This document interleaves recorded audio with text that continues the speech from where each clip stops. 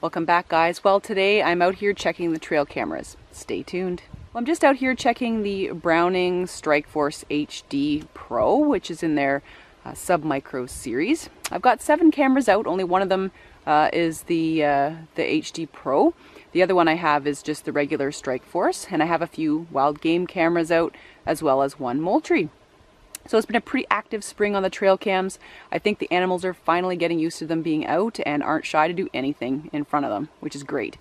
Um, I want to let you know how I feel about this Browning Strikeforce HD Pro. As you'll see in this uh, film today that I will be putting up some of the video from it as well as some of the pictures.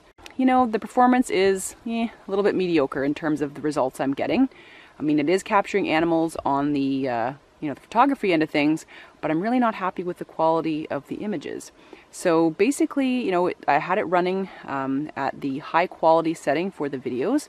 And as you'll see, some of the videos I find, you know, the color is really, really bright and saturated, almost oversaturated, and it's a little bit grainy, uh, especially when it's taking uh, color video sort of at uh, you know the earlier parts of the morning. So see what you think. Uh, leave your comments down below as to what you think the quality of this video camera is. And uh, the photos though, not too bad. I'll put those in there as well. I'm really impressed though with the nighttime viewing on this Browning. Um, certainly at nighttime what you'll notice is that it, uh, you know, it shines a light on the animals, but it also dampens down that light. So basically when they get too close to the camera, it'll dial back the amount of light, uh, the amount of lumens it's sort of shining on the animals. And that's great. That means you're getting less washout uh, photos and videos. Certainly with the older cameras, there's usually just one setting, one flash, one uh, strength of light that you're getting. Uh, whereas this one, you know, sort of dials down uh, the lighting a bit at nighttime, which I think is great. It'll, uh, if the animals are farther away from the camera, it'll really power a uh, very bright light on them, which is fine, but you don't want that when they're up close. So it's been capturing a lot of videos and uh, photos for me, which is great. Although I'm really just not impressed with uh, the video quality. I'm afraid to turn it up to ultra mode. I think it's gonna get more grainy, but I've just left this on photo for now. One thing I like about it, it is really truly sub-micro. Look how small this camera is. It sets up nicely on the tree here. And it also has this little metal bracket here so you can angle it any way you want. I really like that. It's really easy to use, which is good. So you just open it up. You know, the the buttons are great. Um, the batteries, you know, are not dead, which is awesome. Uh, I've got the lithiums in there and, you know, we're basically still at 100% and it's been out a, a couple months now. And uh, looks like, yeah, we got some photos, 23 on there since the last time I checked it about 10 days ago. And uh, one thing I really like about it is that I can view the photos on this unit. So if I go into the pictures here, there's me, Probably can't see here, but uh, I can actually view the photos. There's my legs. so we'll put these on the big screen for you so you can see what I saw. Well, without further ado, I'll show you what we found this spring on our trail cams. Some pretty amazing footage, even some animals that actually were hunting and showed us their quarry.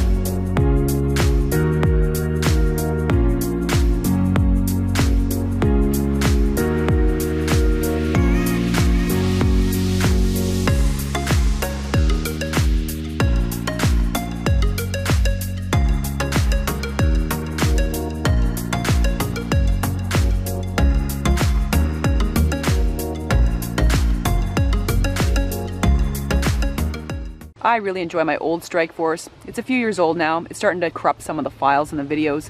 So I was really counting on this one to get some great video for me. So I'm a little bit disappointed, but of course I'm not going to return it. Uh, the battery life is still pretty good, and I do enjoy the pictures it takes. Well, I'm just down at the trail cam here by the dock, and finished checking the trail cams, and it's really surprising this year. I did not see any bears. Uh, usually every year we get a bear or two on the camera and nothing. So I don't know, maybe they're just not in this area right now or they haven't gone past my trail cameras, but it's the first year where we really haven't seen the bears on the trail cameras, so we'll see. This year I only managed to get one picture of the moose uh, going past the cabin this year and it wasn't a very good one. They were going through by nighttime. Like I said, every year I can set my watch as to when they go by. So I didn't get any great footage this year like last year. Uh, you guys remember from my moose uh, trail camera story time. That was a lot of great footage there. This year one of my cameras, uh, the battery kind of conked out right by the cabin when the moose walked by, so I managed to get the shot of it walking away. So anyway, at least I got something. I'm really impressed with those pictures of the, you know, the foxes and the coyotes this year. Um, and of course that rabbit grooming in front of the trail camera was pretty neat. Thanks so much for watching today, guys. I hope you enjoyed the trail cam videos and photos. I'm really looking forward to getting some more great shots because I do want to enter into the Ontario Out of Doors Trail Cam Photo Contest again this year. Thank you guys again for your tremendous support with my little campaign uh, to get in the contest. I did very, very well. I was in uh, the top five at least, didn't make the top three. Uh, but that's a pretty big accomplishment considering how big the contest is. So uh, leave a comment down below, like and share the video, and tell me which one of the images I showed today was your personal favorite. All right, have a great week. Take care.